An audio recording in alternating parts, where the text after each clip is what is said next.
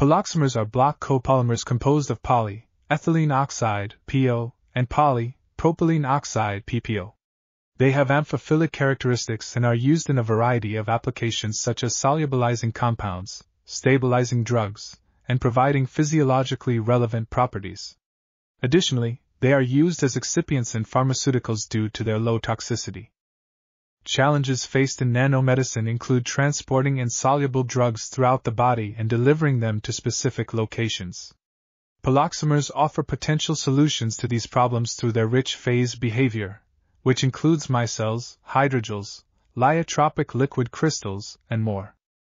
These properties make them suitable for a wide range of processing techniques, including direct solubilization, solvent displacement, emulsification, and preparation of kinetically frozen particles.